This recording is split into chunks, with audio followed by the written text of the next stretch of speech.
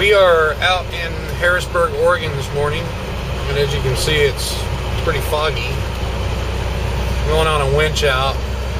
Destination Somebody in the, two uh, miles. ditch, I guess. Drive. Find out here in a minute.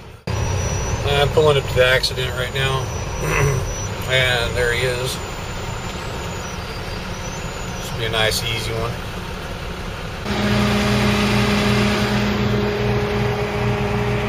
So here's our setup, and I'm not even going to run a snatch block. I'm just going to bring it right on up. I don't even know if it's in gear or not. I don't even care.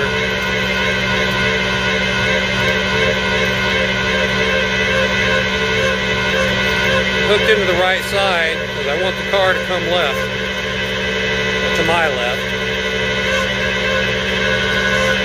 And as you can see, it's coming right up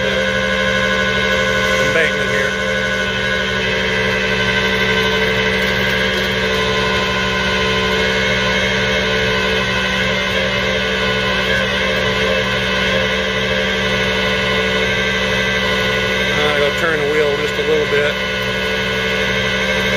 Straighten it out just a bit.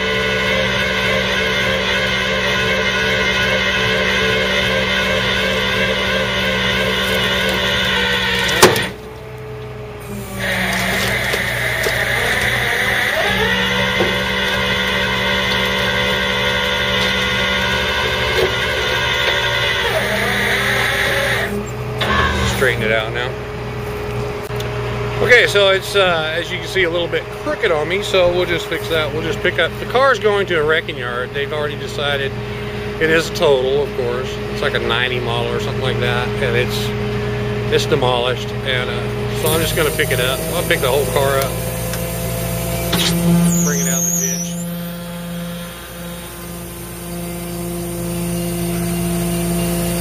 Of course, this is temporary. I'm gonna actually tie it down. I'm just getting it out of the ditch is all I'm doing.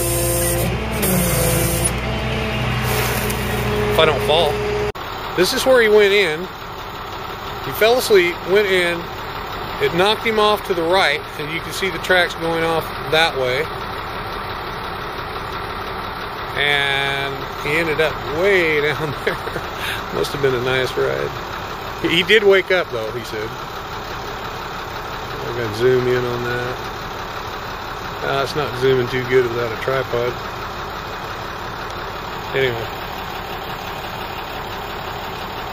What I'm trying to figure out is the tracks go up over in here, but I don't see anything over here. it's weird. What do you guys think? What do you think happened? All right, leave me a comment.